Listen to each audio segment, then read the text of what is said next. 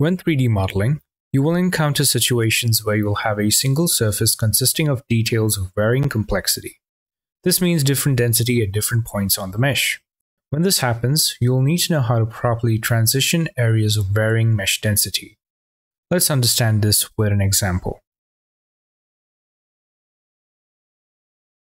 Alright, so we're going to start off by grabbing a B-cube here, and you can get this off of my Gumroad store. Now let's just tab into edit mode here. And you'll notice that we have an extra set of control loops here. So this is so that we have a nice bevel so that the faces that we have here will be flat so that when we cut any details into it, there won't be any kind of artifacts. So before I go ahead, I'm just going to select the faces at the top and the one at the bottom there. Just expand my selection. And once I do that, I'm just going to inset. And this is to basically shift that three spoke pole inward so that we don't have any shading issues. So I'll just bring the subdivision level down to one and I'm just going to apply that. And once I do that, I'm going to add another subdivision surface modifier over it. The reason I'm doing this is so that I have some resolution to work with. So I'll just turn it off for the time being. And now let's just go ahead and add a detail here. So I'm just going to inset and then add a circular detail there. And we'll inset once again and extrude it once. Go ahead and inset again and then add some control loops to hold that shape. So now we have a little detail here. So when modeling, we're going to have multiple details on our mesh with varying density. So let's go ahead and add a detail to a different part of the mesh and see how it's going to influence the detail that we created at the top. So I'm going to switch off our subdivision surface modifier here. And I'll just select these faces here and inset once before I go ahead and extrude it. I'll go ahead and inset again just to shift those three spoke poles in. And I'm going to add some control loops to this. So I want to try and retain the shape that I created there because when we add that subdivision surface modifier over it, it's going to smooth everything out. So I want to just preserve those corners that I have there. By adding some control loops, we'll be able to hold onto that. But we can see that what ends up happening is it's messing with our circular cutout there.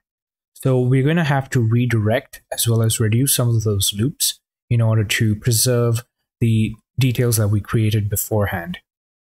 So in order to do so, I'm just going to go back and I'll just cut in an edge loop here and I'll just straighten that out so that we don't get any unintended pinching.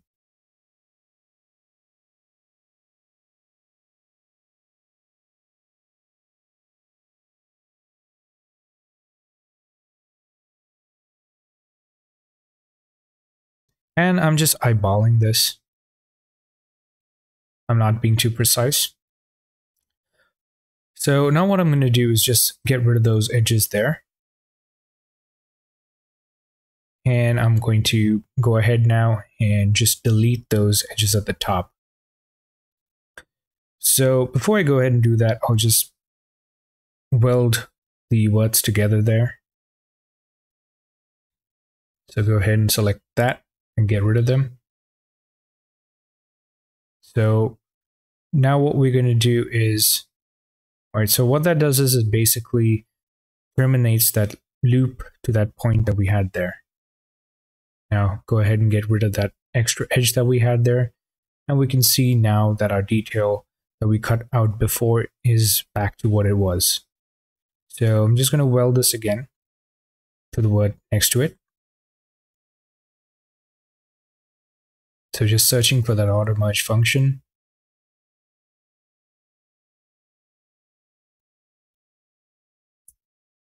So just go ahead and weld those together. So once I've gone ahead and done all that, we end up with a couple of triangles, but nothing we can't fix. Let's go ahead and just connect the corners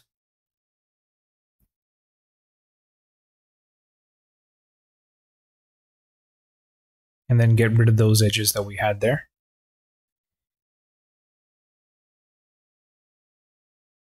So not only have we now redirected and reduced the loops, but we've also gone ahead and made sure that the edge flow is the way we want it. We want our edge flow to flow around the shape that we've created. That way it makes it easier to select everything.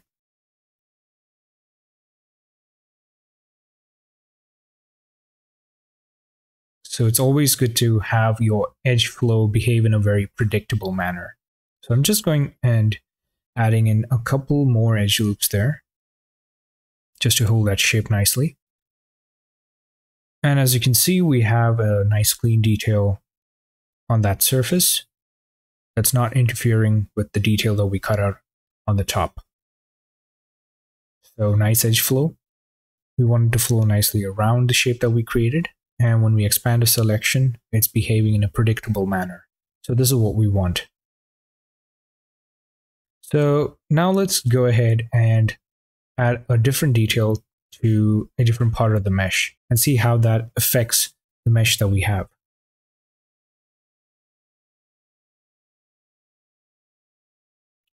So I'm just going to nudge some of those verts into place like that. Just make sure that I turn snapping off.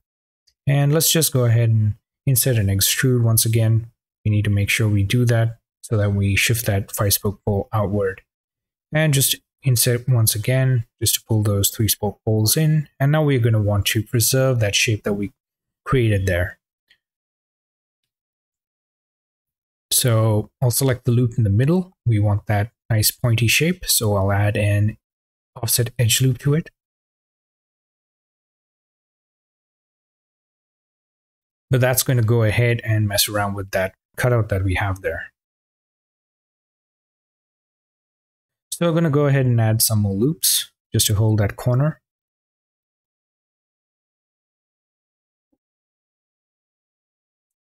Again, eyeballing the placement of those control loops.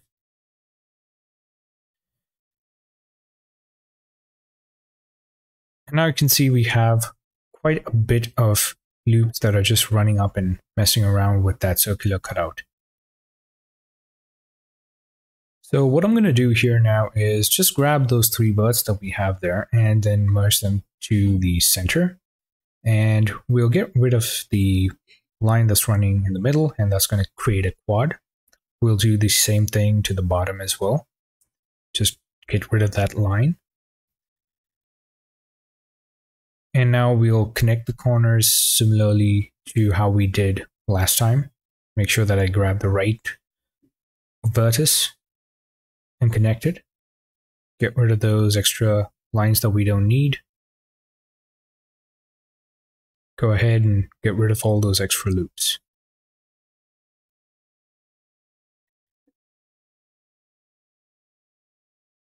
Again, repeating the same thing, just grabbing and welding them.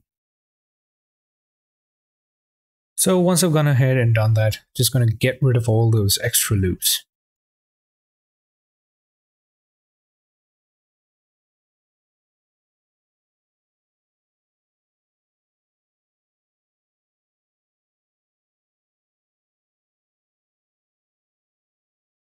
Just going to go ahead now and edit the edge flow a bit.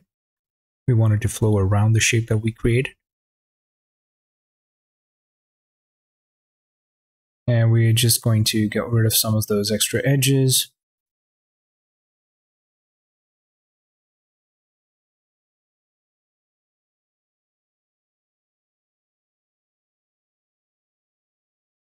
And make sure that we redirect some of those control loops so that they don't end up interfering with the other shapes that we have.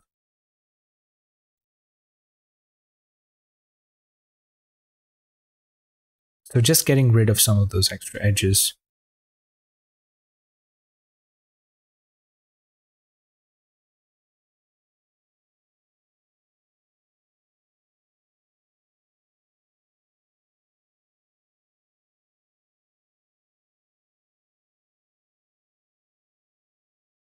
So now what I'm going to do is just cut another loop The reason I'm doing this is so I can extend the three-spoke pole out and away from the extruded details boundary loop in order to prevent any shading related issues that may crop up. And I'm going to nudge those verts just to ensure that they are not concave, otherwise it would be problematic.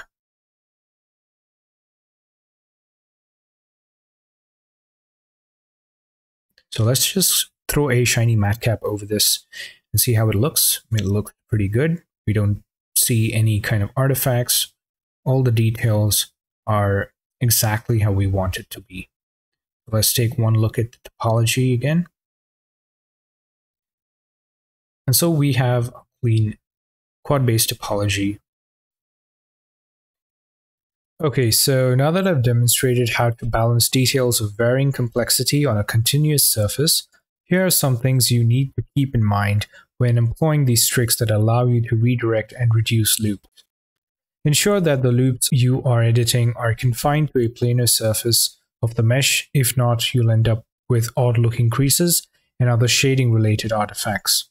They don't bode well with cylindrical surfaces, or any kind of curved surfaces for that matter. They also interrupt edge flow, so it should be deployed as a last resort measure if all other options have been exhausted. And that brings us to the end of this video. I hope you found it informative, and I will talk to you in the next one. Thanks for watching.